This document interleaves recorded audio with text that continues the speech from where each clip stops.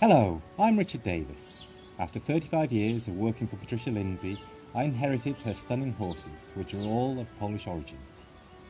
Holmes Farm Arabians are based on Polish bloodlines, and for this reason I returned this year to the famous Janów Podlaski stud in Poland and brought back with me the beautiful stallion Pistolero. He is the son of two world champions, Pinga and Kahil Al-Shaqab, and is with us for just this year, with frozen semen available at Holmes Farm Arabians.